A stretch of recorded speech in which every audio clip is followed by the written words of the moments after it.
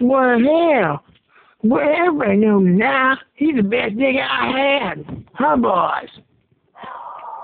Oh, shit. Dude, what the fuck is dog barking at? God damn it. Can't you see I'm doing an interview here? Nah. What? What?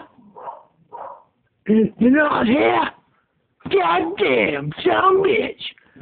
Go get Nanaz, you know, his things.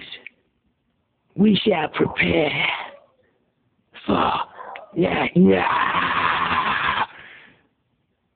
Cause you go round and down. No, no, no, no, no, no. Bye bye, motherfucker.